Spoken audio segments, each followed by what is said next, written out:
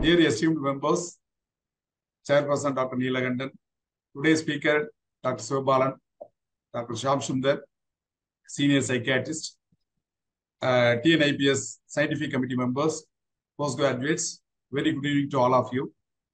First, I, first, I appreciate the Scientific Committee of Tamil Nadu IPS for promptly or- organizing this Enrich webinar.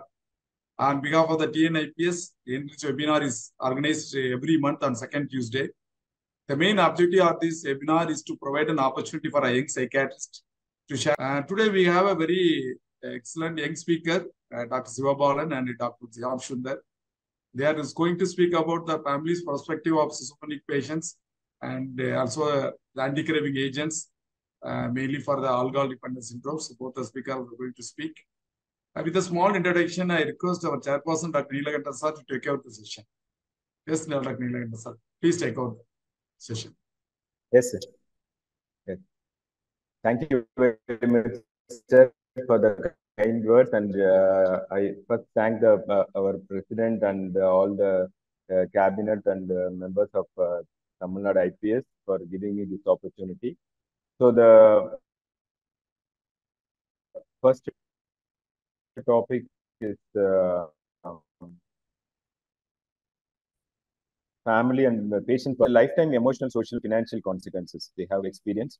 The, uh, the patient, I recently gone through patient journey project published in Brain Scan May 2023.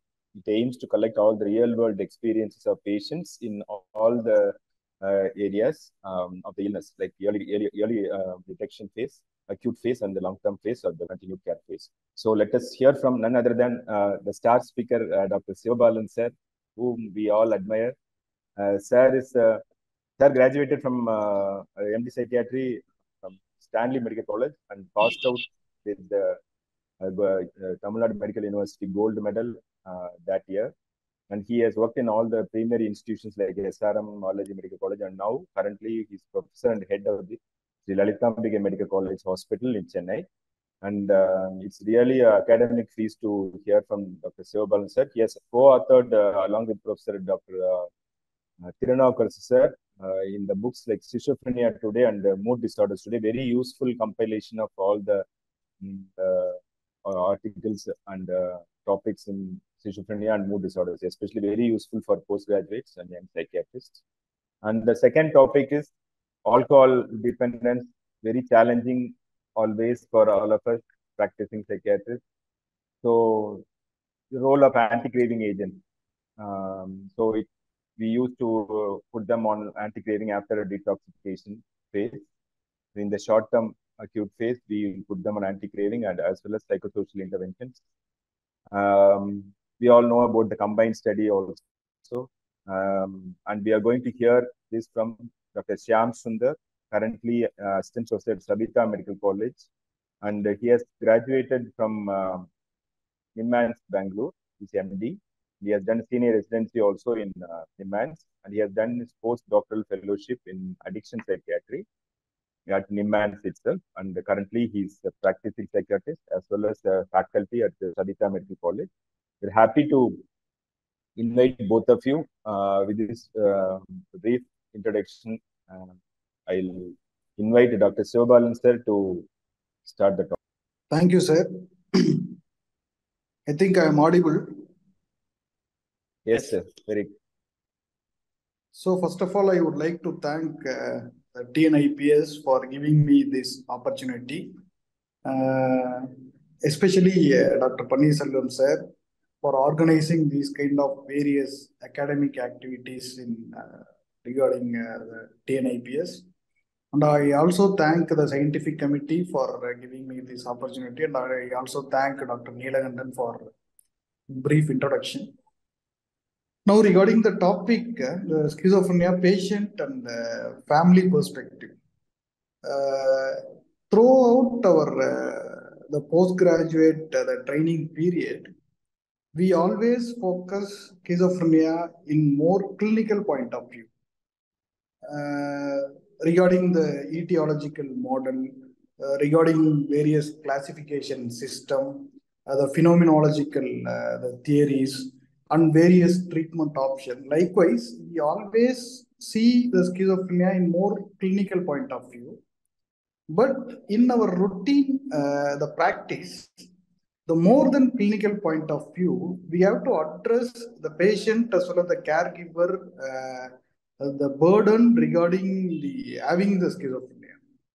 Uh, for example, as a physician, as a psychiatrist, what we understand as schizophrenia is completely different from what patient as well as the family member understand as a schizophrenia. So their expectation, their priorities, and their uh, the values is completely different from our preferences and our priorities. We always not considering all uh, the perspective of the family, the patient, as well as the society perspective of uh, schizophrenia, we always focus on more clinical point of view. So where there will be a very huge uh, gap between the clinician as well as the patient as well as uh, the family members. So in this aspect, it is very essential for any budding psychiatrist to understand what the patient exactly need from the psychiatrist, from the clinician, as well as what family members need from the psychiatrist, need from the clinical uh, the point of view. So in this aspect, we have to work on. Then only we can uh, treat the patient in a robustic way, and we can clarify all the concern and anxiety uh, regarding the schizophrenia. Then only we can assure the complaints. So in this aspect, this particular topic is essential, I think.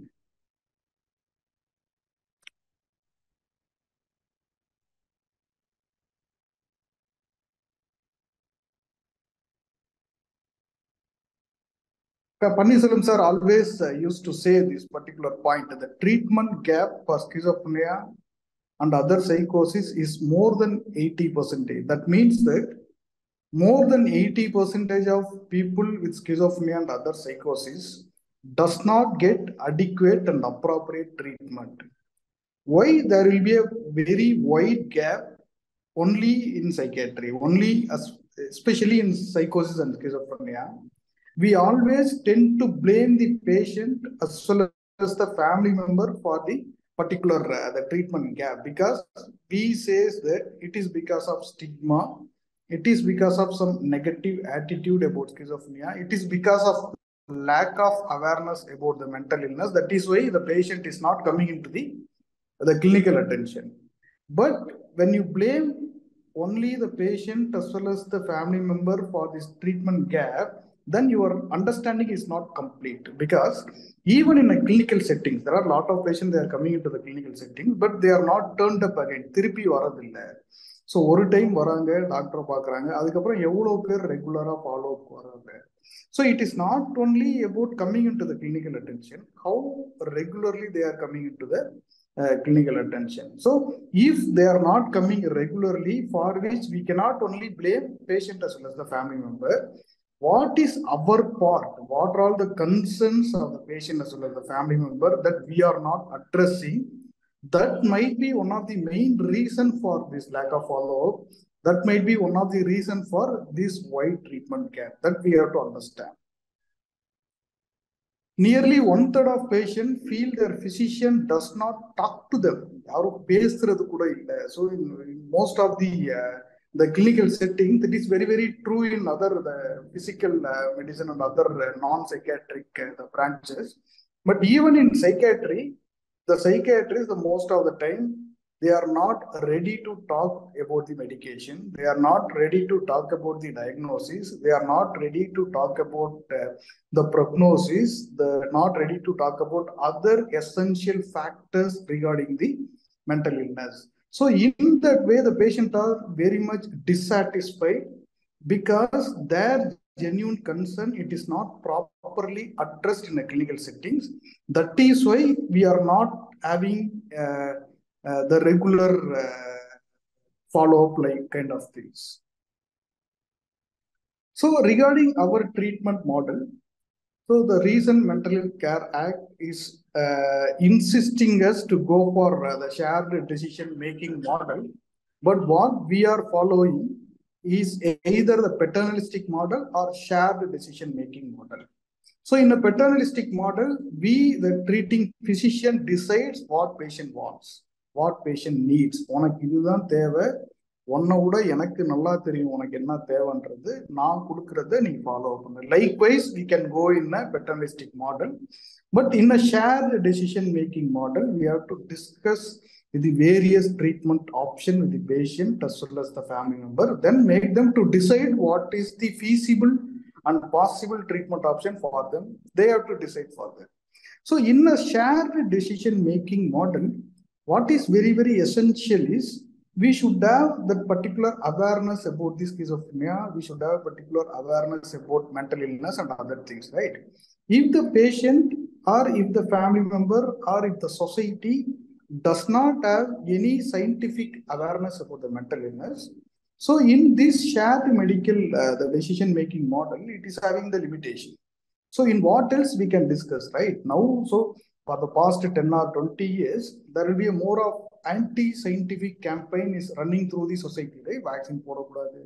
Vaccine போட்டால் side effect வந்துடும் English மாத்திரை கொடுத்தா உடம்பு கெட்டு போயிடும் kidney கெட்டு போயிடும் likewise there are so much of the negative attitude about the evidence based medicine so in that aspect the patient is normally having some anxiety about having the medications So in a psychiatric medication, especially for schizophrenia and psychosis, we are insisting for the long-term treatment. Definitely patient have so much of anxiety about these kind of adverse effects. So the patient having fear that இப்போ நீங்கள் மாத்திரை கொடுக்குறீங்க நான் எடுக்கிறேன் so எடுத்துக்கிட்டே இருந்தால் எனக்கு kidney damage ஆகிடாதா அப்போ when you are go for shared decision making model as these are all the second generation antipsychotics. This would produce this kind of metabolic syndrome. இதனால உங்களுக்கு டயபெட்டிஸ் வரலாம். இதனால உங்களுக்கு பிளட் கொலஸ்ட்ரால் வரலாம். இதனால கார்டியாக் இல்னஸ் வரலாம். இதனால வெயிட் கெயின் வரலாம்.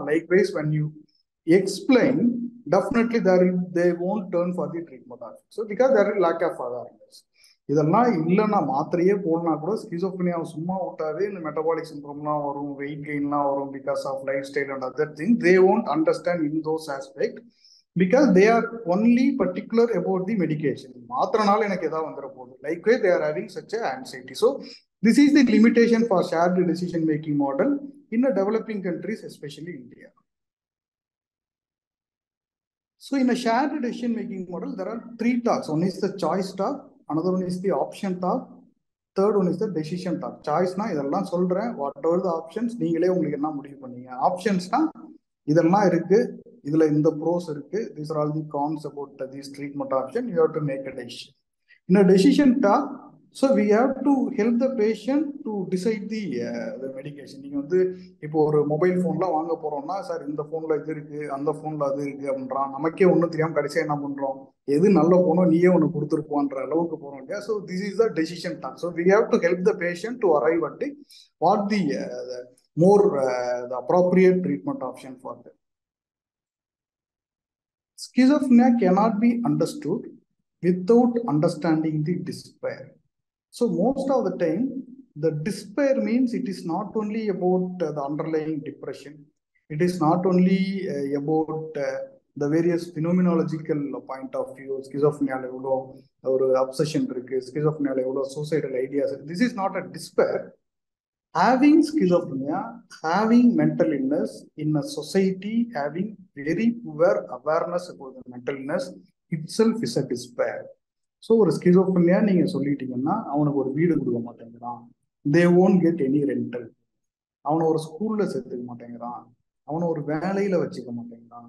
So likewise there are negative attitude about the patient schizophrenia right so this is produce lot of despair this is produce lot of hopelessness about the society.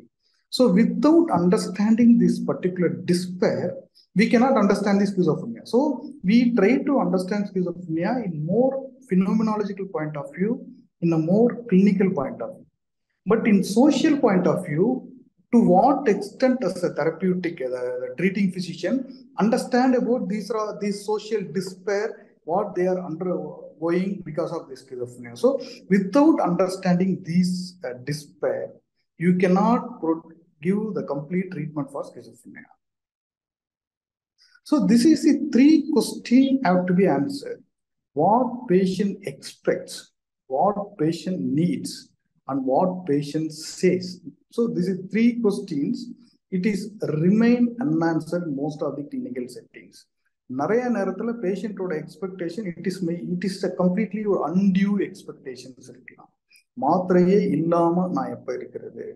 So what patient needs so what patient needs that has to be disclose to the patient உனக்கு எவ்வளவோ பல எதிர்பார்ப்புகள் இருக்கலாம். But இவ்வளோ எதிர்பார்ப்புல what are the essential or minimal things has to be satisfied so what you need most that has to be explain what patient says so நிறைய நேரத்தில் what patient சேஸ்ன்றத we always take it in a more clinical point of view இதில் ஒரு delusion இருக்கா? இதில் ஒரு hopelessness இருக்கா? இதில் ஒரு ட்ரஸ்ட் இருக்கா? ஸோ இதில் ஒரு ஒரு ஹாலுசினேஷன் இருக்கா? Likewise in phenomenological point of view we try to understand so what patient says we are not giving much importance if patient says any thing we always linked in to a delusion For example, so we had one patient in our ward, that female, uh, the schizophrenic patient, complained about the staff nurse that she is trying to sexually abuse me, uh, like that. She had a, she uh, tell a complaint. So in that aspect, my chief, Thirunavukarasu, told that if she is saying that, immediately you should conduct the inquiry. So without any other questions, without we are linking this patient particular belief into a delusion, we are giving much importance to the what patient says. நிறைய நேரத்துல patient சொல்ற எல்லாத்தையுமே நம்ம டெலிவிஷனோட link பண்ணிட்டு இருக்கோம் this is not necessary so most of the time they can come with the despair most of the time they can come with a lot of suffering so these words is very much important in the clinical settings more than the phenomenological point of view these kind of real despair has to be evaluated in the clinical settings and has to be addressed properly then only the patient having trust towards you otherwise when you try to link everything into a delusion definitely there will be a lot of uh, problem so one of the greatest source of pain reported by person with schizophrenia is the loss of personal identity as a normal person. This is one of the main fear and anxiety of the patient with schizophrenia. நீங்க மாத்திரை போடுறதுனால என்னோட இயல்பு போயிடுமோ என்னோட normal identity போயிடுமோ அப்ப மாத்திரை போட்டு நீங்க என்னை மாத்திருவீங்களோ என்ன ஒரு வேற ஆணாவே போயிருவீங்க அப்ப என்னோட ஓன் ஐடென்டிட்டி போயிடுமோ so this is the very very important genuine fear the schizophrenia patient is having so that is way they are very much reluctant to taking the tablets it is not only the side effect of the tablets என்னோட இயல்புன்னு ஒன்று இருக்கு. என்னோட நேச்சர்னு ஒன்று இருக்கு. என்னோட ஐடென்டிட்டின்னு ஒன்று இருக்கு.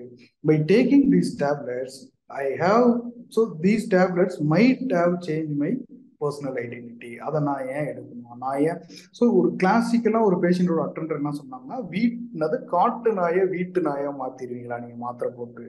So likewise they're having so much of anxiety so these are all the anxiety has to be addressed 15 percentage of psychiatrists would not use the term schizophrenia when giving the diagnosis, instead using other often confusing terminology. So நிறைய நேரத்துல we are not disclosing the diagnosis of schizophrenia to the patient.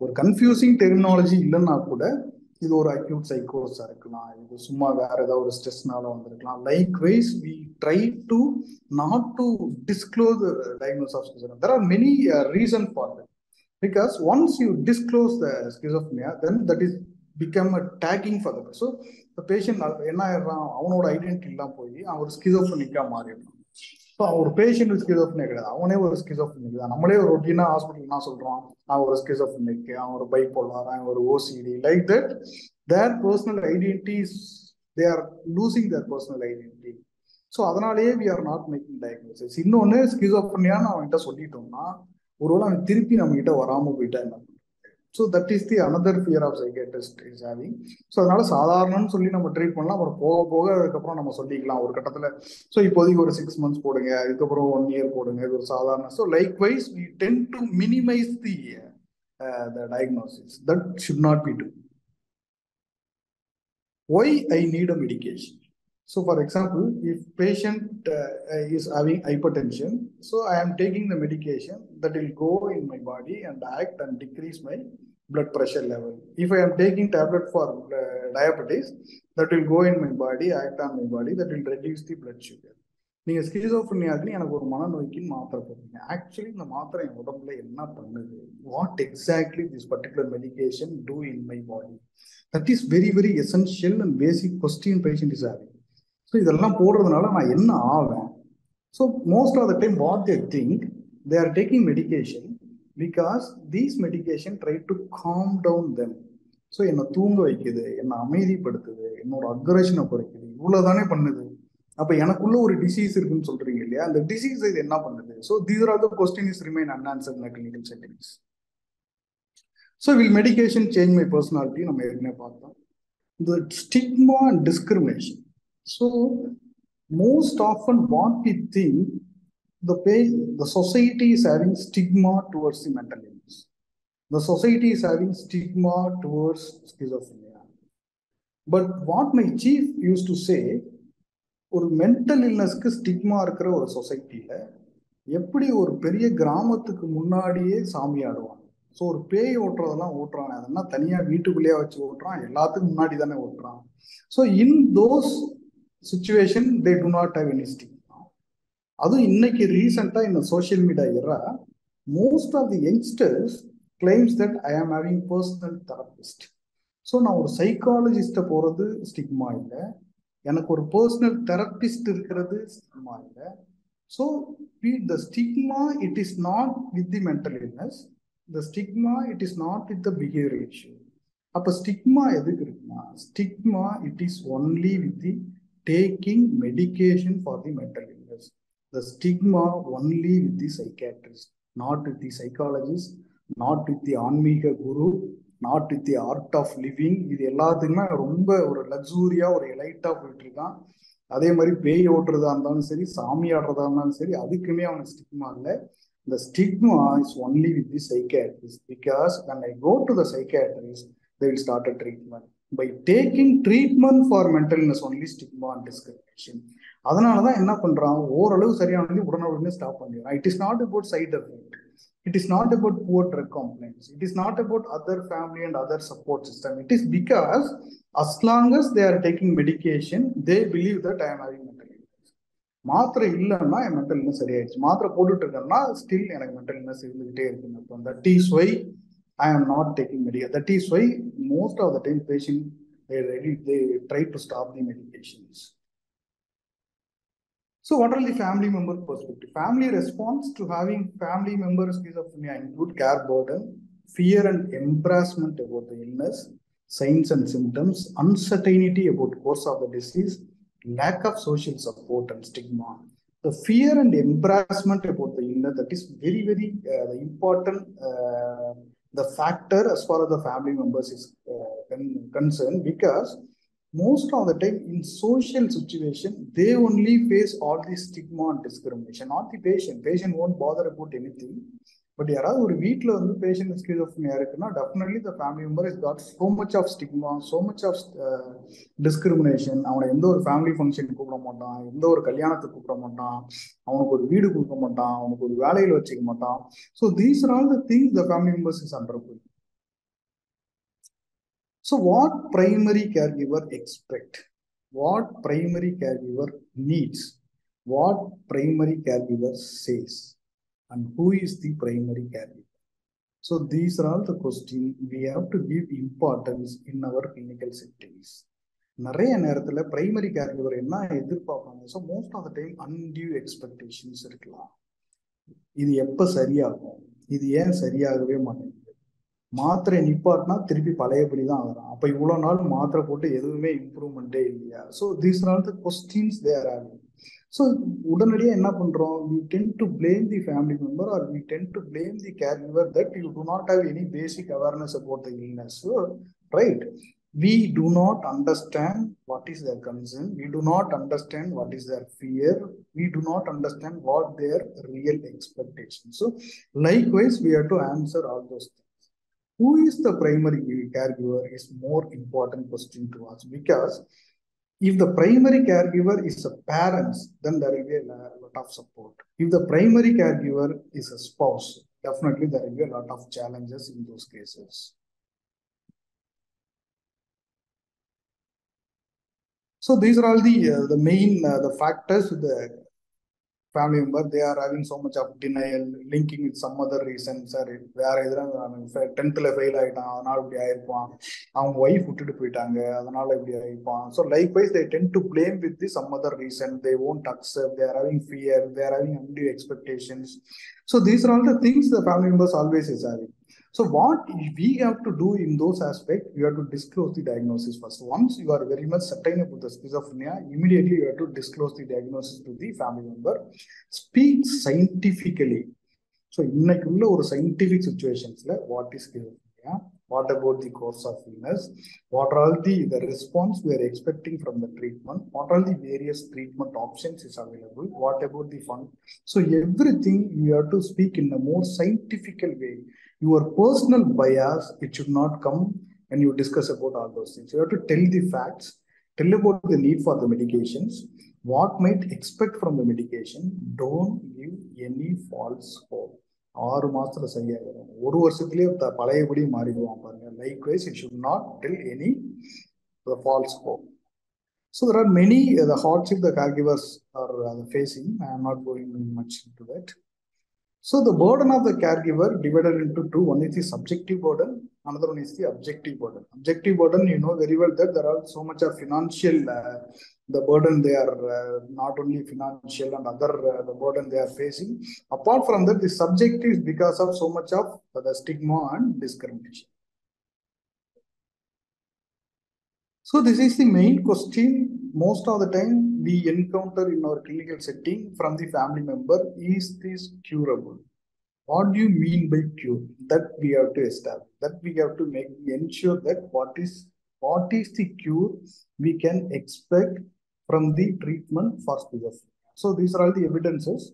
So reduction in cycle only attaining the, the symptomatic recovery is a 50% in cross-sectional, 25% in longitudinal.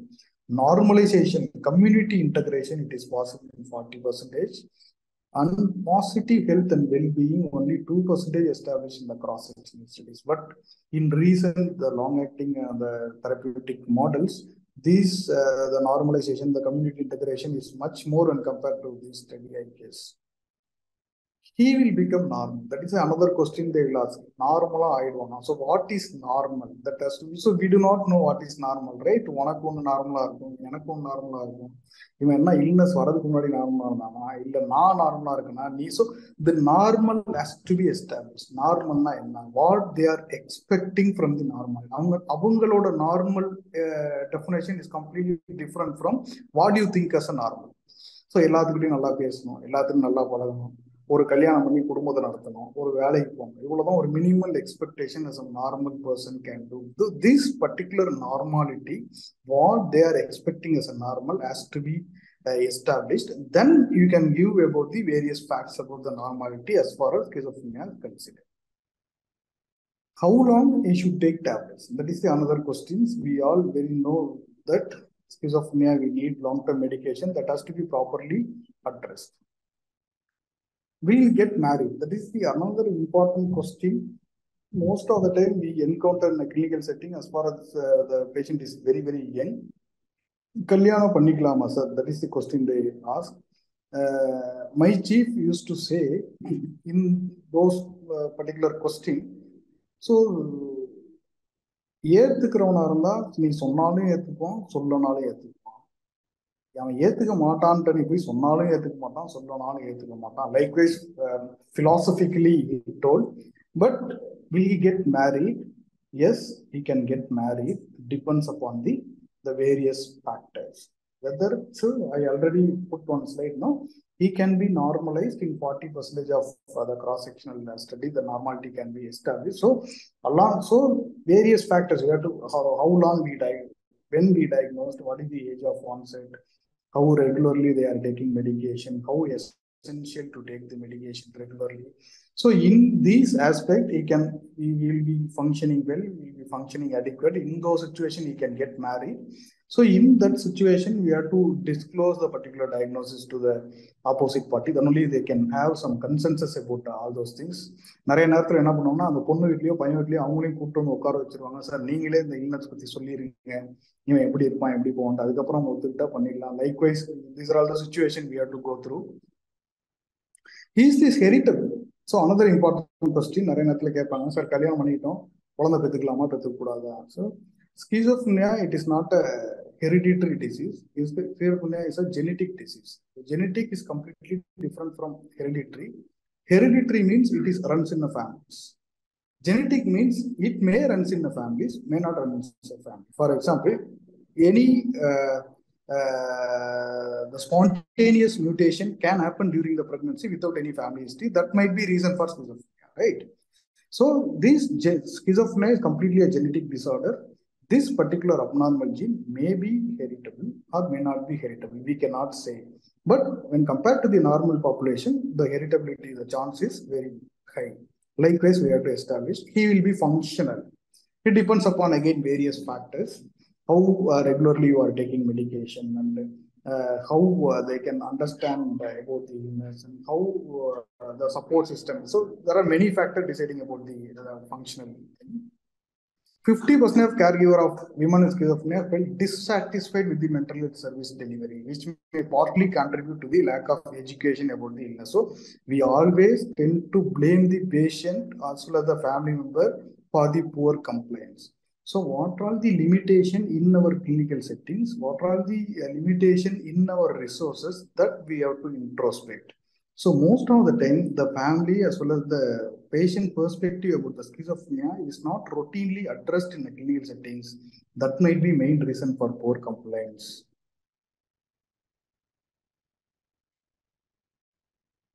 So I have a schizophrenia. I am not schizophrenia. I am not my mental illness. My illness is part of me. So you cannot say any person as a schizophrenia. So any individual, they are having the schizophrenia but you cannot say that he's a schizophrenic patient, he's a bipolar patient, he's a OCD. That, that is not their identity.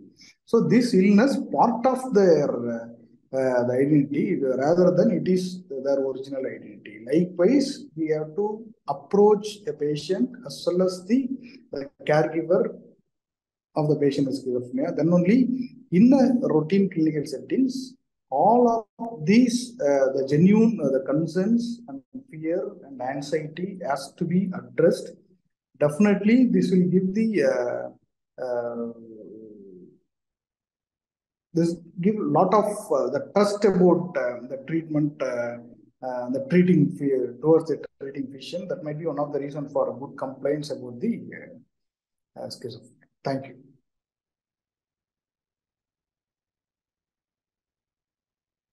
Thank you, Sivabalan sir, for an excellent uh, coverage of the topic. Very unusual and uh, but very needed for the uh, practicing psychiatrist. All practical issues you have highlighted very well. We'll go to Dr. Shyam Sundar. I think you can. Shyam Yes, Sundar sir. sir, ready? Yes, Yeah. sir. I, You can start your talk. yes. So today we are going to discuss uh, the art of choosing an anticholinergic agent for alcohol. Before going into the topic, we know alcohol use disorder carry a high morbidity and mortality. And as per uh, National Mental Health Survey in India, 2015 to 16, the prevalence disorder is found to be 4.6%, usually among males and usually in the age group of 40 to 49 years. And uh, it also brought to light the uh, uh, high treatment gap that is noted for these disorders, which is around 8 um, and we know recovery is not just the patient stopping uh, alcohol use. Recovery also means an improved health, an improved personal and spiritual and uh, personal integrity, and a meaningful contribution to society. Um, using medications for alcohol use can uh, be required in uh, withdrawal for detoxification and uh, also for anti-craving purposes. But before going into the anti-craving agents, let us see a few more important points. So first of all, relapses in addictive disorders. We all know addiction itself is a chronic relapsing and remitting disease. And relapses uh, are occurs in a very high percentage in individuals with uh, addiction and can occur even after prolonged abstinence periods. We'll be surprised when some patients say they were abstinent for so many years and later during some trigger, they restart drinking and go back to the previous drinking pattern. And relapse in addiction, in any addiction, not just alcohol, is often a rule than an exception. But what are the common reasons proposed for relapse? One is the drug euphoria.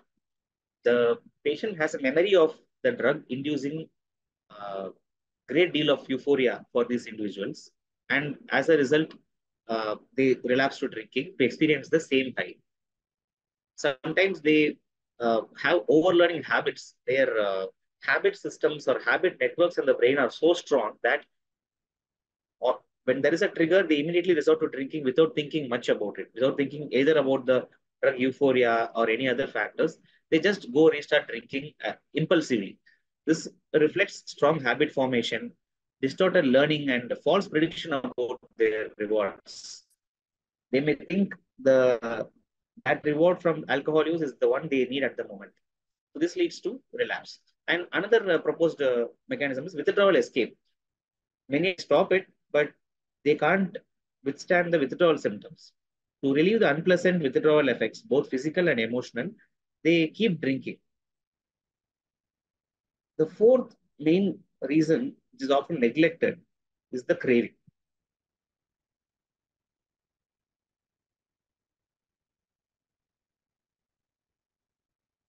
Yeah. So, what is craving? So, craving, uh, compared to other features of addiction like tolerance, withdrawal, craving is slightly tricky because craving is often a subjective uh, experience. And craving it is defined as pathologically intense feelings of wanting, which can be produced when incentive salience. So when we are faced with the situation, what we want in the situation, what for, for which factor do we give maximum importance? It is called incentive craving. In simple English, it is called wanting. It may not be needing, it is just wanting. So this is translated into conscious awareness. So uh, in craving, what happens is there is over attribution of incentive salience to drug-related stimulus.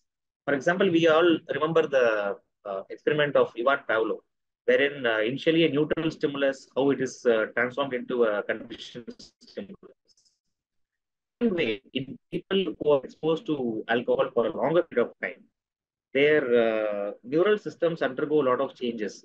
It's called neuroadaptation. So this leads to them placing over attribution uh, to incentive salience to drug-related stimulus. They purposely, uh, their brain is forced to think uh, of relapse and they focus on drug-related stimulus. So the mistakenly the salience is attributed to incentive stimulus. And this excessive wanting, uh, even when excessive liking may not be there, they may not want the drug effects of euphoria. They may not want the relief from withdrawal, but still they may just want to take the substance. So more like a so this irrational wanting will lead to irrational behavior, which will land them up in persistent and repetitive drug use despite the negative effects. On closer look at neurobiology of addiction, so this picture is taken from uh, ASAM textbook of uh, addiction. Uh, this is called Koob cycle of addiction. So wherein addiction occurs in three stages, binge intoxication stage, negative affect withdrawal stage, and preoccupation and anticipation stage. We'll start with the binge intoxication stage.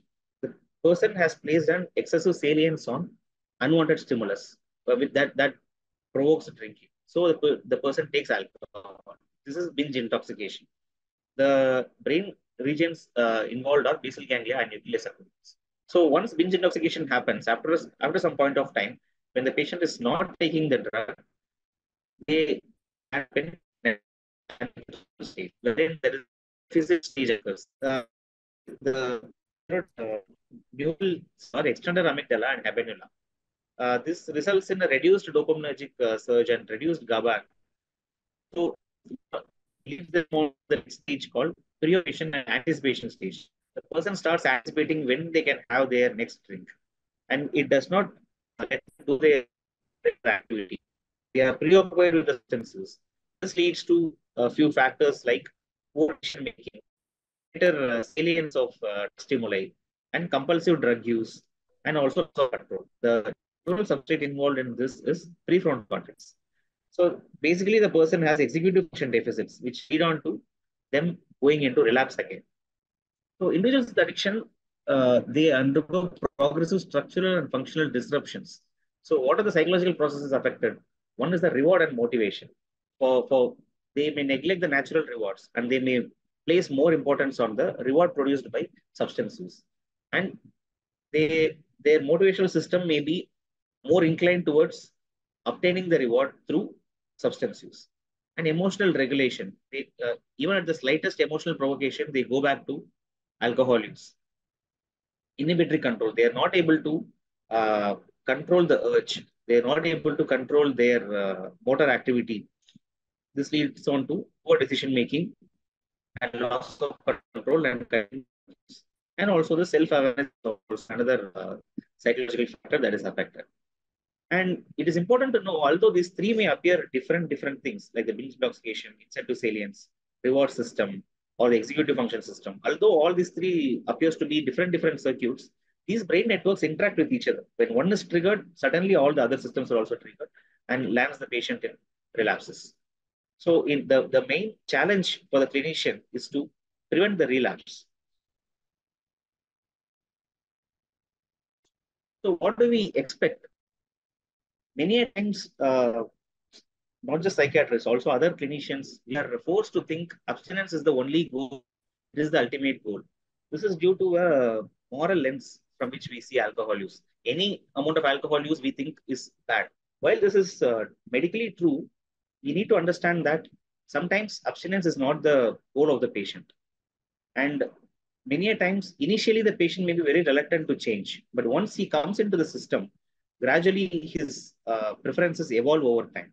So we should not lose heart when patient says, I don't want to stop but I want to reduce drinking. So any change from the patient's end is an acceptable one. So the following are the preferred outcomes I mentioned in the slide. One is increased abstinence rate, which is what we prefer. The other preferred outcomes are reduction in frequency or volume of alcohol use, moderation of alcohol use, controlled drinking, non-abstinent remission, which means that the person is uh, has stopped alcohol almost completely, but he drinks once in a few days or one or on occasions, but he no longer meets the criteria for alcohol dependence syndrome. This is called non-abstinent remission. Reduction in number of drinking days is another outcome we prefer. Reduction in number of heavy drinking days, reduction in subjective experience of craving, and increased time to return to the next drink or uh, relapse. So this is what these are all the preferred outcomes that can be in in case of uh, uh, alcohol dependence syndrome and not just abstinence. So we have a lot of uh, in the armamentarium to help in um, promoting uh, abstinence and to help in preventing the relapse. But we need to find, just like uh, the lot of weapons shown in this uh, photograph, each uh, weapon have their own skills. They shoot to a particular uh, distance. They have their own advantages, disadvantages. You have to, if, if you want to shoot different different things, you have to choose different different weapons. Similarly, different different drugs have different uh, mechanisms and they have their own advantages, disadvantages. We need to know about them so that to uh, we, we'll be able to choose the right thing for the right patient.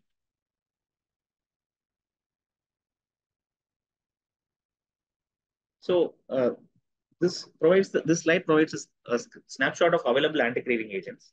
Uh, on the left, we have naltrexone acamprosate. Uh, they are in bold and they are in the um, maximum font size because they are the most evidence available for only these two medications. We also have topiramate, gabapentin, and baclofen in the on the left box. So these are the commonly used medications for uh, alcohol anti-craving purpose. On the right, we have varenicline, aripiprazole, zonisamide, ondansetron, nalmefene, and antidepressants. We'll see about these agents because they have mixed evidence. Disulfiram, we should know it is a deterrent agent. It is it has no anti-craving properties. Hence, uh, in this uh, lecture, I am not covered covering disulfiram. So coming to anti-craving agents, they are indicated in moderate to severe alcohol dependency. Mild alcohol dependence syndrome or harmful use of alcohol generally requires uh, just non-pharmacological management or brief interventions. So uh, they should be used when patient prefers pharmacological treatment, when there is no contraindications for their use, uh, when the non-pharmacological interventions have failed. So in all these situations, we can use anti-craving agents. And use of anti-craving agents is called medication-assisted treatment of alcohol use. And before starting treatment, it is uh, this point is very important. The clinician and the client has to agree to a mutual initial treatment goal. So initial treatment goal is the goal you are setting uh, on the first visit. This goal can be anything among the things that I have showed in the previous slide. So it could be abstinence, it could be reduction in frequency of alcohol use or volume of alcohol use or controlled drinking, decrease in heavy drinking, whatever the patient wants. So we need not be hesitant about fixing this initial treatment goal. Even if the patient says, I want to continue drinking, just give me some medication so that uh, uh, my, my, appetite might increase or so that my uh, quantity of use comes down. We should not be hesitant in saying, no, no, I'll treat only you for abstinence. We need not force that. However, when the same patient comes back, we can slightly use motivational interviewing techniques and other techniques to change their initial treatment goal towards abstinence. Uh, so that conversation can take place uh, in a gradual manner. So once the mutual initial treatment goal is set, then we can initiate, give them the option of anti-craving agents. So uh, anti-craving agents, we may be hesitant in some situations whether these uh, drugs may do any harm to the patient. But based on the available evidence, it is very clear that the benefits outweigh the risks of continued drinking. So let's go one by one into each anti-craving agent. Uh, so naltrexone, it is one of the first-line agents for alcohol dependence. The mechanism is it's a non-selective opioid receptor antagonist with maximum efficacy at maximum affinity for mu receptors than delta and kappa receptors. It's available as tablets and long-acting injectable. Uh, however, the long-acting injectable is not available in India. Tablets are available as uh, 50 mg. So, prefer naltrexone. Uh, naltrexone is generally preferred because it acts on opioid. Uh, this opioid system, uh, there are two neurotransmitters that um, get immediately released in the brain following alcohol use. One is the dopamine, one is uh, beta endorphins. So the endogenous opioids that are released during uh, that that provide pleasure, that is blocked by naltrexone. So if in patients with high intense craving component, especially we talk about two types of craving. One is the reward related craving, the craving wherein the person thinks I'll get a reward by drinking. The other one is relief related craving. In, in people with anxiety, they want to relieve the stress. So this is relief related craving. For reward related craving, positive reward effects, naltrexone is preferred. And it is also preferred when uh, there is family history of alcohol use, uh, comorbid gambling disorder, um, and in patients with frequent relapses, we can prefer naltrexone. And uh, one study has also proved that smokers with alcohol use disorder, naltrexone might work better than other drugs. So um, the last point says comorbid opioid use disorder. This uh, is a bit tricky. If we want to use uh, opioid agonist treatment like methadone or buprenorphine, then naltrexone may not be preferred. However, if we want to give antagonist management for uh, opioid use disorder, then naltrexone you can prefer. So all these are based on the studies mentioned on the left, on the right. And what are the outcomes I can expect once I start the patient on naltrexone? One is reduced return to drinking, reduced relapse pattern, decreased craving, and reduced return to heavy drinking. Uh, it can be used when the goal is both abstinence or goal is reduction. You can use naltrexone, and it may be administered when client is still drinking. This is unique to naltrexone because other drugs like acamprosate, baclofen, etc., are not generally recommended when patient is still drinking. So when the patient himself says, I'm going, still going to drink, just give me, reduce my drinking, then you can always prefer naltrexone. And uh, based on, when, when we come to the evidence, combined trial in USA uh, had reported that naltrexone had better outcomes than However, the PREDICT trial in Germany uh, found no significant difference between the two in terms of efficacy. In 2014 meta-analysis, no significant difference has been found between acamprosate and naltrexone. Uh, in the factors of return to drinking or heavy drinking or number of drinking days. One more uh, unique feature of naltrexone is it is preferred when patient has comorbid depression and PTSD when it is used along with an antidepressant. This property uh, does not hold good for other agents. So uh, all these factors, naltrexone may be preferred to other anti-craving agents. However, what are the side effects? GI discomfort is a common side effect, nausea, dyspepsia, etc. And elevation in uh, liver function test. These are the common side effects. And caution has to be used because in pain syndromes, the patient may uh, be already taking an opioid or the patient may require opioids in the future. So, but naltrexone uh, may block the opioid receptors and opioids may not be useful. So in pain syndromes, it has to be, it, it can be avoided or can be used with caution. When patient is planned for any surgeries, because the anesthetic drugs, uh, opioids are commonly used anesthetic drugs. So in planned surgery, you can avoid it. And patients with opioid use disorder, if you prefer an agonist management, you can avoid naltrexone. And patients with acute hepatitis, naltrexone is better avoided. And patients with hepatitis C, hepatitis B, HIV patients, uh, because it uh, increases their LFTs, increases the liver enzymes, then it uh, so it is uh, generally avoided. Acamprosate. So coming to the next most preferred agent, uh, acamprosate, it is also a first-line agent in treatment of alcohol use disorder. Uh, the mechanism of action is it beneficially modulates the glutamatergic neurotransmitter system, including uh, metabotropic glutamate receptor 5. So this uh, effect on this glutamatergic system will indirectly affect the other neurotransmitter systems and ion channels. This leads to a uh, GABA glutamate imbalance get uh, counteracted and the balance is restored. Formulation available as tablets of 333 mg and the preferred dose is 1998 mg, which means six tablets has to be taken by the patient. So uh, it is a safe medication and does not have any major drug interactions. So it may be preferred in uh, old age people who have, who generally have polypharmacy. There is risk of interaction. And if the patient is already on opioid medications, it may be preferred. And uh, if the patient has multiple medical issues, acamprosate is one, med one medication that does not affect the liver. It also does not affect the heart. So in patients with these ailments, it may be preferred. And uh, there is no risk of overdose. And it, it, it may be most effective when uh, the patient is abstinent at the time of treatment initiation. Often, acamprosate is started on day five of abstinence. And uh, after the withdrawal symptoms have settled down. And it is, the patient is motivated to maintain abstinence. Whereas in naltrexone, we saw whether it is abstinence or reduction, it is useful. But acamprosate, only when the patient wants to maintain abstinence, it is useful. Uh, and it reduces the negative affective state after the withdrawal. Once the withdrawal symptoms settle down, the uh, long-term alcohol use produces a negative state. This negative state occurs due to uh, GABA glutamate imbalance. This leads to a lot of anxiety, stress, etc. So to relieve this, this kind of a craving, relief craving, acamprosate may be preferred.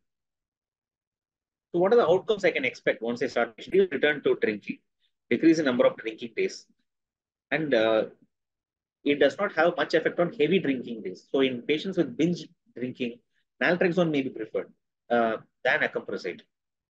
And the evidence is both predict and combined trials have established that it is epic, it is effective in uh, controlling craving and it uh, to improve the alcohol uh, use disorder outcomes. And side effects are transient diarrhea, flatulence. These are the common side effects which are generally settled down in the initial few weeks. Uh, very rarely it can worsen depression and it can cause suicidality. So when you start, you need to check with the patient whether they have any worsening of depression or suicidality. Uh, only caution is because it's eliminated by kidneys. Uh, in renal impairment, you may either avoid it or you may uh, dose it slightly lesser. So that's about acamprosate. And topiramate, uh, if patient does not respond to acamprosate and naltrexone, the two preferred agents are topiramate and gabapentin. Coming to topiramate, mechanism of action, it has multiple mechanisms of action. It facilitates GABA transmission. It inhibits glutamate transmission. It mediates the voltage-gated uh, sodium and potassium current. Uh, so it has uh, action on multiple neurotransmitter systems. It is available as tablets and uh, compared to acamprosate and naltrexone, Naltrexone is quite costly. One tablet might cost around 80 rupees. And acamprosate, we have to use six tablets per tablet, somewhere around 20 rupees.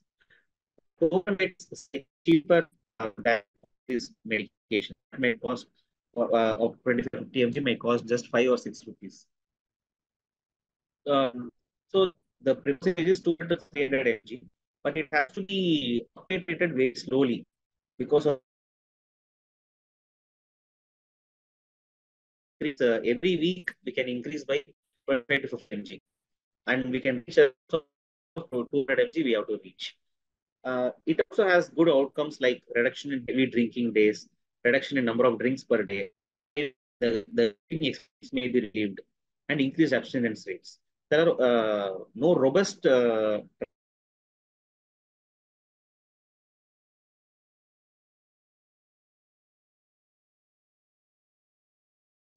angle closure glaucoma. So all this we need to rule out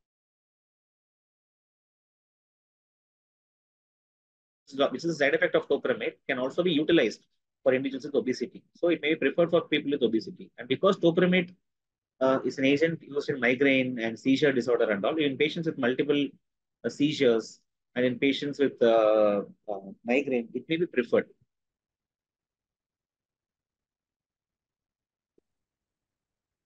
Next is gabapentin. The mechanism of action is presynaptic. It, it acts on the presynaptic voltage-gated calcium channels, and through this, it indirectly modulates the GABA neurotransmission. It is available as tablets. The dosages are uh, 900 to 1800 mg. And the outcomes, uh, when I give gabapentin, I can expect reduction in heavy drinking days, reduction in the drinking frequency, reduction in craving, and increased abstinence rate. The side effects include there is a possibility of misuse with the gabapentin. Uh, patients can uh, force the prescriptions. Patients can uh, develop withdrawal symptoms, tolerance, etc. when they are on gabapentin. So it has to be used with caution. Um, and gabapentin can also uh, produce uh, orthostatic hypotension. So it may not be preferred in elderly individuals. One caution uh, is renal disease, where the doses need to be down titrated. It is eliminated by kidneys. It may be preferred if patient has peripheral neuropathy, pain syndromes, when gabapentin is an indication, then you, can prefer it. So these four are the major medications used for uh, used as anti-craving agents: acamprosate, naltrexone, topiramate, and gabapentin. All the other agents, as per the latest guidelines, 2023 guidelines. Uh, so all this data I had taken from uh, three important guidelines. One is the American Psychiatry Association guidelines, Canadian guidelines, and UK guidelines. So all these guidelines they place these four drugs uh, in the uh, main as the mainstay of alcohol withdrawal of, of alcohol uh, craving management and the upcoming medications uh, baclofen and we'll see a slide about other medications. These have to be used only when all the other options fail. So let's come to baclofen. So baclofen uh, the mechanism of action is it is a GABA B receptor agonist. It restores the neurotransmitter balance uh, in, with long-term alcohol use it is available as uh, tablets and capsules. The dosages uh, that are effective are from 40 mg to 180 mg, although doses up to 120 mg are there in the literature. Uh, efficacy, previous studies had uh, mentioned some benefit. However, the most recent RCTs, they, they, they, they report no significant benefit of uh, baclofen. Side effects, it has abuse potential, it has dependence potential, etc. And uh, Caution has to be exercised in patients with history of seizures, psychosis, bipolar disorder, as it can worsen all these disorders. It can reduce the seizure threshold. Uh, and abrupt stopping of uh, baclofen can often lead to CNS symptoms like confusion, um, cognitive uh, disturbances, memory disturbances, etc. And it can also produce uh, withdrawal-like features. So abrupt stopping of uh, baclofen is not recommended. So this is a unique feature for baclofen, uh, not there in not present in other medications. So it has to be used with caution, and patient has to be advised that abrupt stopping should not be attempted. Uh, we should not use if baclofen if the patient is continuing to drink because it's a GABA B receptor agonist. It can worsen when the patient uh, the patient's imbalance and other things. It can increase the risk of falls, etc. So it has to be used with uh, caution. If patient is still drinking, don't use it. Uh, and previous uh, previously some recommendations uh, were made for use of baclofen as a uh, detoxification agent. So the recent guidelines discourage the use of uh, baclofen as a detoxification agent. It should not be used during withdrawal. Uh, so the bottom line is baclofen is has limited benefit. It has to be considered only if acamprosate or naltrexone are failed or it is contraindicated. So coming to the other drugs, conventionally uh, antidepressants all, were also thought to have some efficacy with uh, craving, but the recent uh, evidence suggests that it, they have no efficacy in reducing craving. They may be used if the patient has comorbid anxiety or depression. Some other medications with uh, anti-craving activity are aripiprazole. Uh, so if alcohol use disorder with some indication for aripiprazole is there, then it can be used. For example, psychosis or low-dose aripiprazole for OCD, etc. Varenicline, it may be a promising agent. Many trials have uh, uh, proven benefit for reducing both nicotine and alcohol dependence. So it may be worthwhile in patients with uh, nicotine dependence. Uh, drugs like zonisamide, ondansetron have limited evidence. Uh, one more recent drug is nalmefene, which is available only in Europe as of now. It is a mu delta antagonist and kappa partial agonist. One peculiar nature of this drug is that it is useful in mild dependence, not whereas other anti-craving agents we think of only in moderate to severe dependence. But so far, nalmefene can be used in mild dependence in combination with psychosocial interventions. So now uh, this is a small exercise. Uh, I will tell a few points. You can put in the chat box which anti-craving agent you would prefer.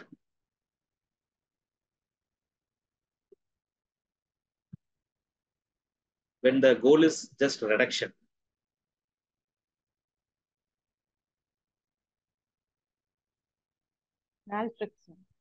You can put in the chat box.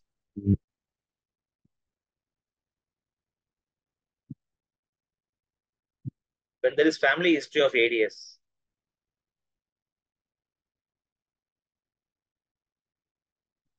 When the patient prefers once daily dosing, they don't want to take three times a day. I mistakenly revealed the answer when the patient finds alcohol highly rewarding, not naltrexone highly rewarding. So when patient prefers alcohol uh, highly rewarding and when patient has frequent relapses, smoker with ADS, answer is naltrexone. Almost all of you have got it right. So next, when the patient needs less drug interactions, there is active liver disease, patient is already on opioids, multiple medical issues, motivated to maintain abstinence, then acamprosate could be the agent we, we should be looking at. Smoker, yes, uh, Dr. Gajalakshmi madam has told uh, varenicline. Yes, varenicline also can be preferred, but among the available agents, initially naltrexone can be preferred.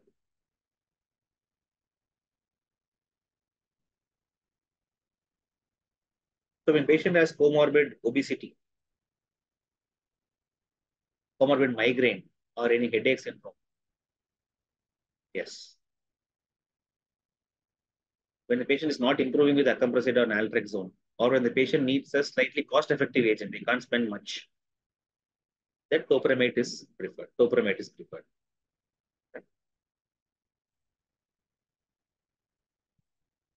When the patient has comorbid peripheral neuropathy, did not respond to acamprosate or naltrexone, then gabapentin also can be preferred. So let me tell you a few take-home points before uh, I end the session. So the very first thing is craving is a major reason for relapse, but it is often neglected. Often we think patient finds it very rewarding, that's why they are keeping on drinking. But craving is craving is uh, something like a uh, irrational irrationally the mind is attributing a lot of importance to drinking related cues that is craving so that is the main reason. And medication assisted management has more advantages than only non-pharmacological management. Acamprosate and naltrexone have the most evidence. So if, whenever possible we have to try these two medications first. When these two medications fail gabapentin or topiramate have to be preferred.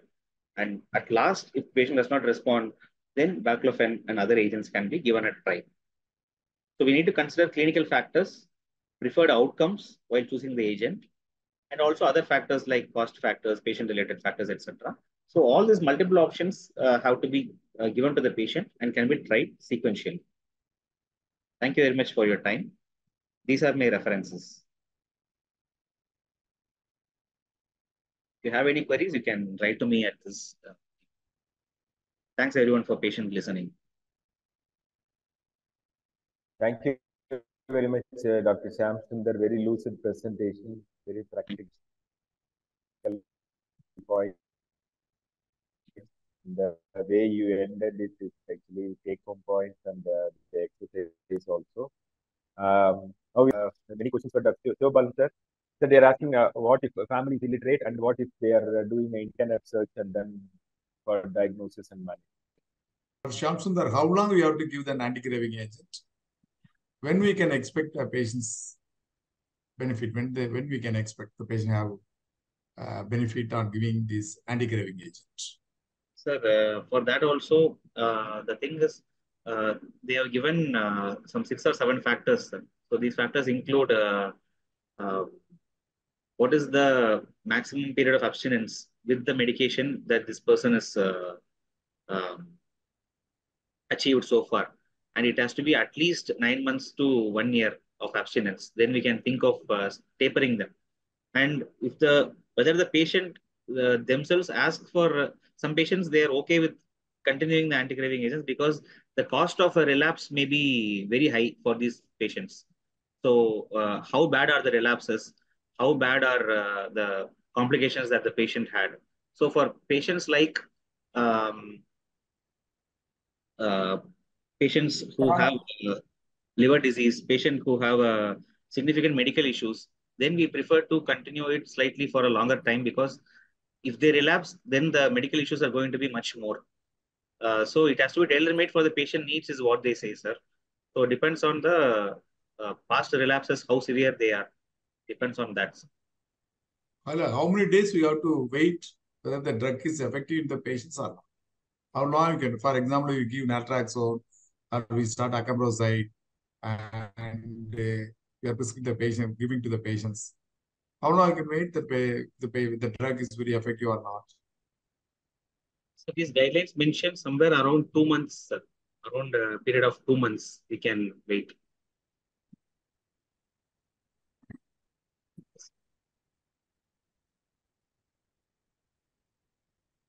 And one more thing I, I forgot to mention, sir. Some people also talk about combination of anti-craving agents, like acamprosate and naltrexone is one combination that has been studied. Uh, however, the efficacy over using individual drugs is limited. Uh, that Sobal has one more question. That Sir, that Sir, Family- sir, uh, I, I, I got one question from Karthik Daivanayagam. yes. Sir, uh, regarding the role of family federation or family support groups in comprehensive care of uh, F20 patients, yet definitely there will be a great uh, role the family has to play as far as the schizophrenia is concerned, because uh, it is not only a symptomatic uh, recovery, it is uh, functional recovery and there are so much of community integration also it is being needed for schizophrenia. Definitely there is a role for family member. And another thing is the import, impact of stigma is less and understanding is better among patient and family from low socioeconomic status. This is very very uh, the true statement. That is why i am saying that when i go to the rural area they are doing all these uh, the or the possession attack So they are happening in front of the village only, right? The, they are uh, very uh, uh, ready to come to the clinical attention if there is any uh, the mental illness. Definitely, in so lower socioeconomic status, the stigma is very less compared to the uh, the other groups. The impact of medical treatment of schizophrenia on homelessness. See, the medical treatment we are aiming to the only a symptomatic recovery so that is not a comprehensive uh, treatment. The social integration, the normality, and living with a positive mental health, these are all the target. This cannot be achieved only with the medical treatment. So there are so much of comprehensive treatment model is necessary for uh, treating schizophrenia.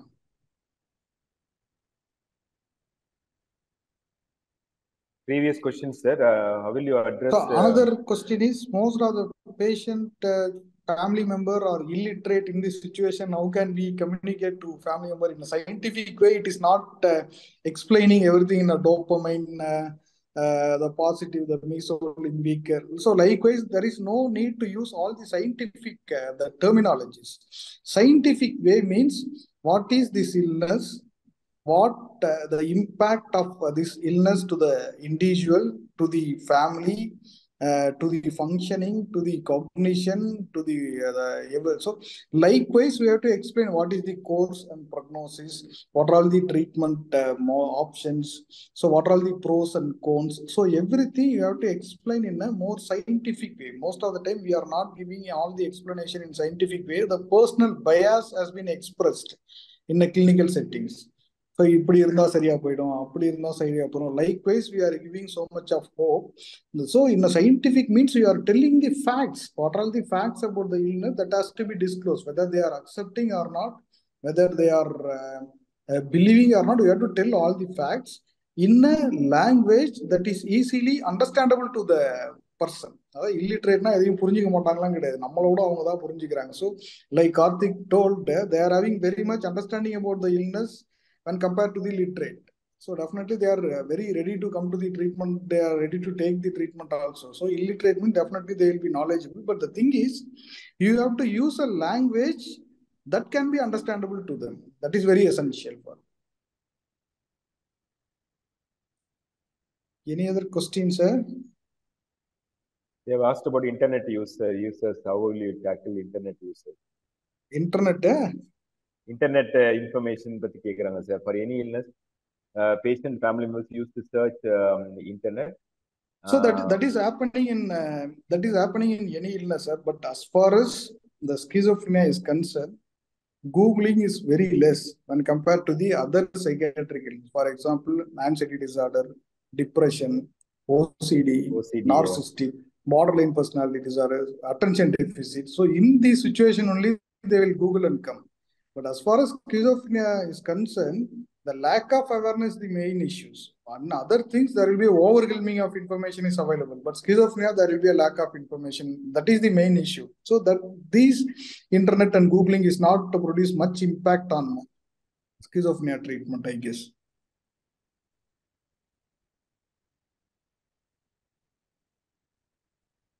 How will you actually uh, address the sexual dysfunction perspective uh, from the patient side as well as family side when they are?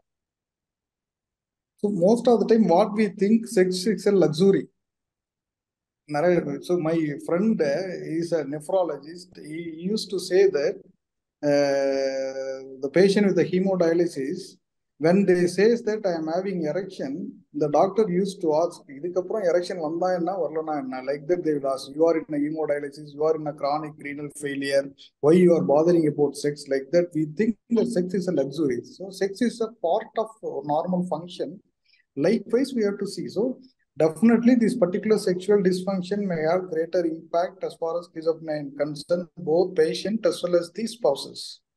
So in this aspect, we can address all these concerns. So first we have to produce some space to discuss about all those things.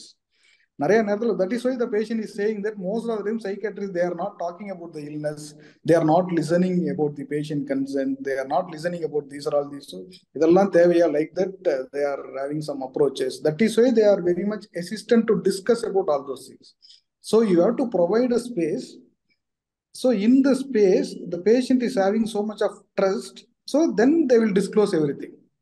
Then they disclose all of the concerns and fears. Yes, sir. Any other questions? They, they have asked about any yeah, uh, injectables for uh, prevent, preventing relapse in ADS, sir. Yeah. Dr. Shashunda, there's one question called any liquid formulation of anti-craving agent. Clofin used to be available as a liquid, uh, but it is not uh, very easy. Uh, like uh, availability is less Cannabidiol, recently the drug cannabidiol was widely marketed for substance use. What's your uh, comment? Sir, I have, uh, It's available in liquid form. cannabidiol. but I don't know about its efficacy in alcohol dependence. Not read much about it. Regarding alcohol use, Regarding, Craving. Yes. uh, I'm not very sure, sir. Okay. That cannot be there. So, but I would like to answer the previous question. Uh, one is uh, any preference for anti-craving agent in anxiety? As per the literature, uh, it, it says either acamprosate naltrexone with an SSRI. However, uh, clinically speaking, baclofen can be tried in these individuals because GABA B uh, action is linked with uh, reducing anxiety. So, Dr. Ashwati Nair's question, baclofen is an agent that we can consider. And any injectables for preventing relapses, actually naltrexone injection, we need to know about it. We don't know when it is going to come. So naltrexone 380 mg injection is available in uh, US and other countries and, and few more countries. It is 380 mg once monthly injection. It comes with one uh, powder, uh, uh, diluent, and four needles, four different size needles. So we, we, we have to mix the powder, uh, diluent and the powder. You have to uh, prevent clogging. It, it, can, it can easily become clogged. Katicatia, it can it, it can easily get formed. We have, we have to shake vigorously, and we have to. There are four needles available. Uh, so whichever uh, of, of different width, we have to choose whichever needle. And if one needle gets clogged, we have to take the bigger needle and, and try. But the it is very effective. It is equally effective as uh, naltrexone oral medication.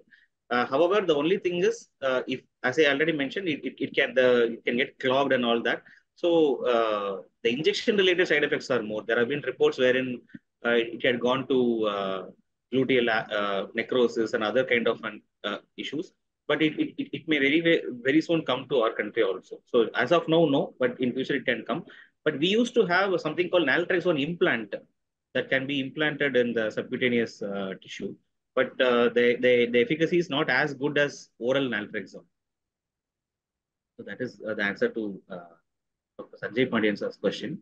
And one more, they asked, patient is unwilling and drinking themselves to death, non-compliant. Patient family seems helpless. In this situation, naltrexone can be safely given. They can give naltrexone before the patient uh, patients drink, either in a uh, uh, surreptitious way, they can give naltrexone. And it had actually worked wonders in many of uh, the patients we had seen. Um, it, it, it at least reduces their quantity of alcohol use. The thing to avoid is baclofen. Uh, disulfiram, many times they give without the patient's consent. so these to be avoided. You can give naltrexone in that scenario. A few points about uh, combining um, uh, anti-craving and uh, disulfiram. Yeah. So disulfiram uh, generally uh, when patient is very highly motivated and when such uh, disulfiram, yeah, one is deterrent agent we generally say because it deters and also it increases the motivation. So if, if the if the patient themselves are willing and they'll be they, they want to go for this option, then we can definitely give a try. Sir. It, it, disulfiram also because it's anti-craving agent i am not told about the efficacy. Uh, but it is uh, very highly efficacious when uh, we choose the right client. If they also want abstinence only then it is very highly efficacious. The effect size is almost equal to a acamprosate and naltrexone. And seeing from a cost point of view also it is cost effective also sir. So definitely we can prefer we can give the option to the client. If the client wants it then we can prefer sir definitely so you can combine the naltrax, uh, naltrexone and disulfiram because it induces psychosis. Yes, sir. Yes, sir. Yes. Usually it induces psychosis there. Yes, Generally, yes, we never combine naltra, uh, naltrexone and disulfiram. Yes. I've seen uh, a few quite number of cases whoever combined in the initial stage, uh, most of them they developed psychosis. So we stopped it, combining this both the drug. Sivabalan sir, your concluding remarks. Sivabalan sir. Yes, sir, you can conclude, sir. Sivabalan sir wanted to say something. Sivabalan, you can say a few words and conclude. Yes. So, regarding the schizophrenia is concerned, so more than phenomenological and clinical point of view, we are always ready to have uh, uh, the concern about the patient as well as the family members perspective about the illness they are having different understanding they are having different perspective they are having different expectation all of this can be addressed in our uh, the clinical situation then only we can give the comprehensive and holistic uh, the care for uh, patient with schizophrenia. Thank you, sir. And we have uh, uh, Professor Dr. Arul Sarunan sir uh, here. And uh, sir, you want to say some uh, uh, your, your opinions and then you can give vote of thanks also as a cabinet. Sir. Arul Sarunan sir. Thank you, thank you. Thank you, thank you, sir. Uh, Yes, sir. Yes, sir. sorry, I was a Few- bit few caught words up from when I you, yeah. joined the plane. ஒன்றும் இல்லை sir நல்லா எக்ஸலண்டா பண்ணிட்டு இருந்தாங்க Thank my you, wishes to both the speakers and sorry I join a bit late especially treatment challenges with alcohol dependence இது ஒரு எண்டில் இருக்கு and family interventions for schizophrenia uh, these two are areas which uh, generally are neglected in the sense that you know uh, even in an institutional setup we find that you know difficulties occur uh, we are more comfortable with uh, uh, giving the patients uh, psychopharmacological treatment. When it comes to uh, uh, social interventions or family interventions we are lagging behind in that. And uh, uh, even in uh, psycho uh, pharmacological interventions when it comes to managing the craving aspect of the patient especially when the patient is discharged and he goes back to his own milieu there are quite a lot of challenges that occur uh, that period of time is what uh, both the uh, patient as well as the family members uh, require help or request help rather uh, from us so that the whatever period of abstinence that has been gained during the inpatient care given can be maintained for a longer period of time. Probably, I think that is where we uh, uh, sometimes fail, and then you know things take a downturn. Of course, patients with motivation are uh, on a different pedestal, but uh, patients where there are uh, you know other factors that come into play uh, which tend to tip the balance. One needs to be very uh, vigilant about this, and uh, uh, cost factor is there, but uh, uh, thankfully now uh, things are a little better. So uh, we should choose an anti-craving agent uh, and uh, should be able to use them uh, beneficially. That should also be an important uh, uh, weapon in our armamentarium.